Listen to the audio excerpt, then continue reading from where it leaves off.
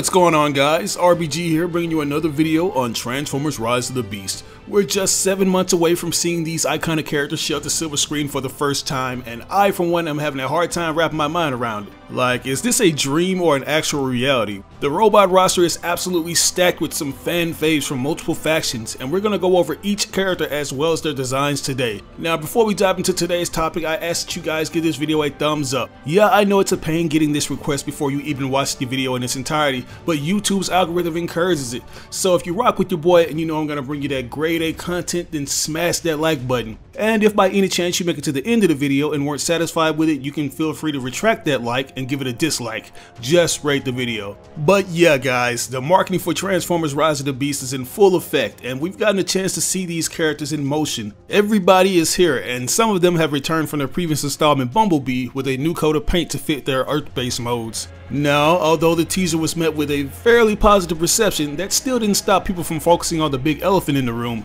which just so happened to be the CGI. That was something that was harped on by myself and I ultimately deduced that it would look a lot better in the final product. It's important to keep in mind that these trailers don't always represent what you'll see in the movies, and wonky CGI is nothing new when it comes to Transformers movie promotions. Like this has been a thing since Age of Extinction and The Last Knight. Similar to certain instances in the Rise of the Beast trailer, we've seen shots where the compositing and shading don't quite match the backgrounds these characters are featured in, but those things look a lot better once you see them in the theater. I also want to note that 9 times out of 10, chances are YouTube will cripple the visuals of a video. If you aren't aware, YouTube has this weird thing where it compresses the heck out of videos which reduces the true fidelity. This is why I try my best to upload at 1440p or higher even if it means suffering insanely long render times. And I encourage big name studios to do the same, especially if they're promoting a film that uses a lot of CG. Because on YouTube, 1080p is the new 480p a subpar low bitrate dud.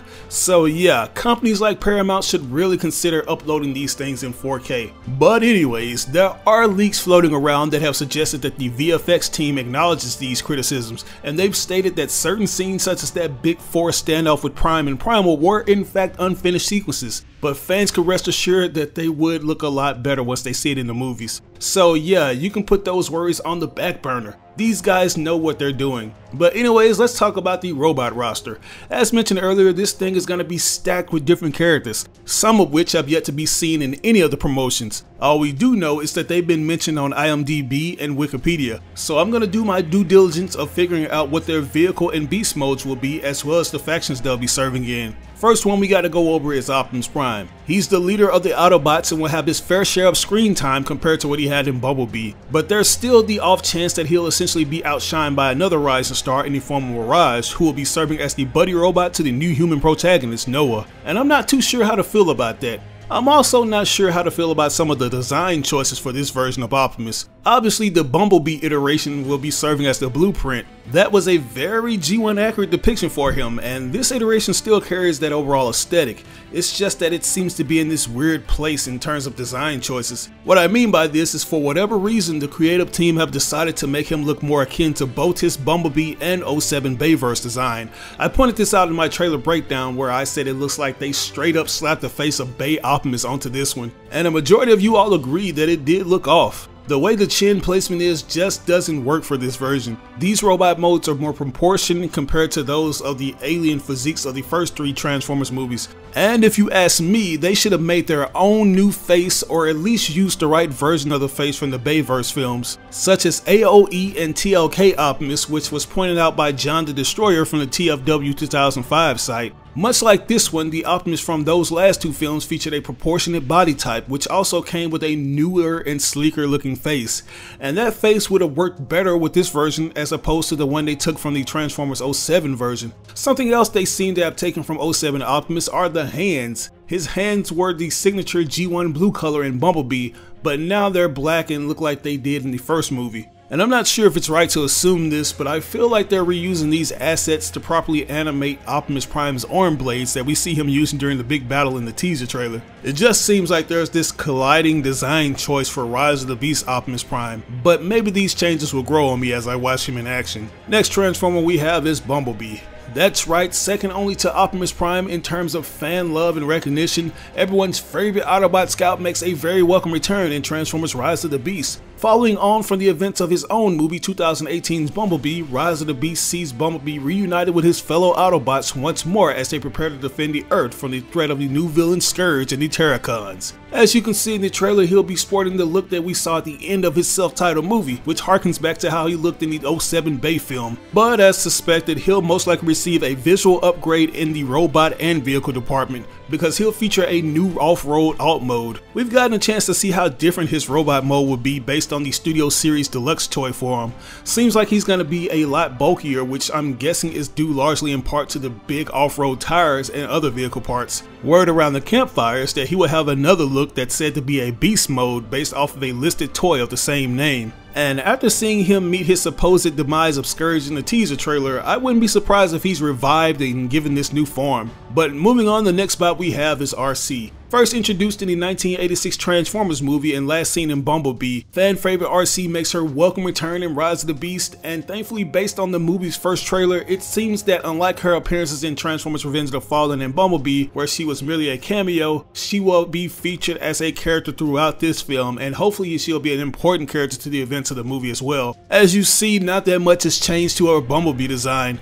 If anything, there have been more improvements to make her better represent her G1 counterpart. Besides the Ducati motorcycle parts, she'll now feature her retractable visor, which was noticeably absent from the Cybertron scene in Bumblebee despite her being in an epic shootout. And I know a lot of fans aren't too high on the red parts to this design, but I for one love it. I think it meshes well with the pink, which if I'm not mistaken are her original Cybertronian parts. I also like that she's going to wield the ability to relocate the motorcycle wheels to certain parts of her body. Like it looks like in some scenes they start at the top of her back, but when she springs into action she can shift them down to her legs and use them as rollerblades, which is awesome. But moving on to the next Autobot, we have Mirage another one of the original Generation 1 Transformer characters. He makes his long-awaited return in this new movie sporting a look more akin to his original 1984 animation and toy design after he was last seen sporting a bright red appearance in Transformers Dark of the Moon. Fans of this anti-Arthurian Autobot can look forward to him seemingly based on the movie's first trailer playing a bigger role in Rise of the Beast than he did in Dark of the Moon, with several moments in the trailer showing what appears to be a key chase sequence in the movie with him being chased by a squadron of police cars. As mentioned earlier, he's going to be to Noah what Bumblebee was to Sam, and I honestly think they should continue with that style of storytelling. It would be dope seeing each character within the Autobot faction receive a human companion and have the spotlight put on them. That way we get a better feel for how each character acts in each installment as opposed to some of them get left in the back burner. But hey, that's just me. Next up, we have the Autobot scientist and trusted friend and ally of Optimus Prime, Wheeljack. He's another fan favorite character dating right back to the original animated series and toy line, and a character fans are sure to be happy to see on the big screen once more. The last we saw of him, he got a very G1 inspired design that totally made up for the very stereotypical nerdy one he got in Dark of the Moon. Unfortunately, however, it looks like we're going back to the goofy Bayformers basics and making him a nerdy stereotype once more. That's right, if you thought he'd get a similar treatment to that of Arcee where minor tweaks are made to his Cybertronian robot mode from Bumblebee, you were sorely mistaken. Because based on his deluxe class toy, he's gonna be nerdy to the max. Complete with obnoxiously big glasses and complimentary suspenders. This thing, in my honest opinion, blows Dark of the Moon's design out of the water when it comes to cringiness, and it further proves my point when I say that the studio heads still aren't confident enough to stick with the original source material. They rather ride the formulaic tropes of the Bay films and unnecessarily change characters. Wheeljack is supposed to be like this Brooklyn Italian grease monkey mechanic with an attitude. He's supposed to have the bulb ears that light up when he speaks, and it seemed like they were going with that approach when we saw him briefly in Bumblebee. He even had a voice acting legend in the form of Steve Blum, aka Starscream himself providing his voice for the character. But all that has been thrown out of the window. All we have now is Wheeljack in name only and nothing else. The glasses look awkward, not to mention his face just looks weird.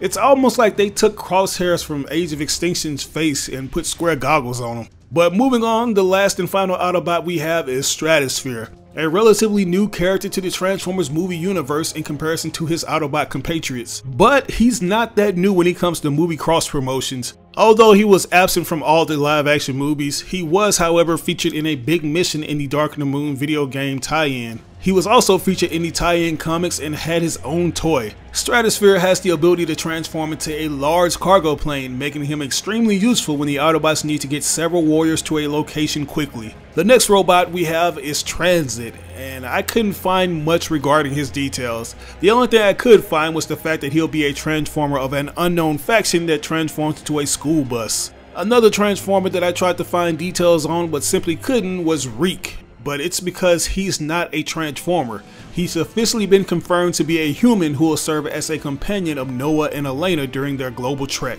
Moving on to the beast side of things, we have Optimus Primal. First introduced in 1996 Beast Wars Transformers, Optimus Primal, as his name implies, is the leader of the heroic Maximals, a race of Cybertronian Transformers who, unlike their Autobot counterparts, take the form of animals rather than vehicles when they transform. As the teaser trailer suggests, he's the one who alerts Optimus Prime to the threat of Scourge before being seen taking part in what looks to be a truly epic battle, likely near the end of the movie. And as the leak suggests, he'll show his distant ancestor Optimus Prime how to properly lead his team. Based on his leaked toys and overall robot mode in the trailer, his design seems to be very faithful to his 96 look. I say he's a mix of that and the trans metal aesthetic because he isn't fully covered in fur. You can see the metal components on his body. He has his dual blades that look like they can be combined to form one blade. The only aspects that have yet to be confirmed is if he'll feature a retractable battle mask in which originates from him, and there's also the question if he'll possess the ability to fly. Here's hoping he does. Joining Primal as part of the Maximals is their air reconnaissance expert, Airazor. First introduced later in the run of the original Beast Wars Transformers animated series, Airazor proved to be an invaluable ally to the Maximals with a strong family bond to Rhinox and Cheetor, who saved her after her stasis pod was damaged when he crashed on Earth. Similar to her original counterpart, she'll be a fembot who transforms into a peregrine falcon.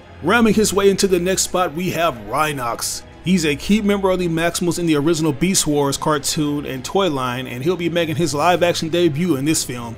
While it may seem like Rhinox is nothing more than a maximal muscle, there's more to him than meets the eye. On this strong surface, this gentle giant is in fact one of the most intelligent members of the Maximals and incredibly tech savvy. His beast and robot modes look to be very faithful to what they were when he first made his appearance in the 90s. Even though I could get a full glimpse of it in action from the trailer, I can still tell that its robot mode looks very good. The only thing missing is his insanely cool twin chain guns, which I have my fingers crossed for. I'm also hoping that the movie harkens back to the classic moments with him such as allowing certain characters like Optimus Prime will ride on him while he's in beast mode. Next up is the young Maximal Speedster Cheetor. Cheetor often served as the audience surrogate for all the younger fans out there, with his youthful exuberance and impulsivity often getting him into trouble. He's a fan fave character that many viewers will be glad to see on screen, with at least a handful of epic moments where we see him running alongside Bumblebee shown already in the movie's first trailer. Moving into that darker territory, we have the evil bot who'll be leading the Terrorcon charge, Scourge.